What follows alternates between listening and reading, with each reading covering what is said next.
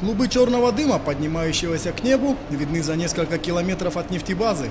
Полиция в целях безопасности перекрыла обе полосы трассы Западный Китай, Западная Европа и направляет автомобили в объезд. При подъезде к нефтебазе заметно, что было два очага возгорания, и если цистерны с бензином и машины пожарные уже потушили, то на насосной станции пламя бушует во всю силу.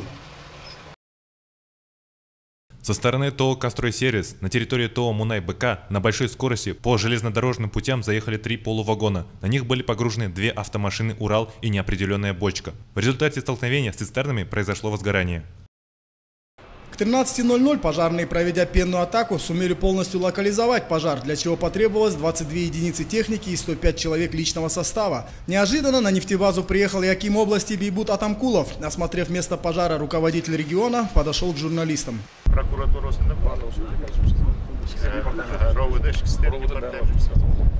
Трассу полностью перекрыли.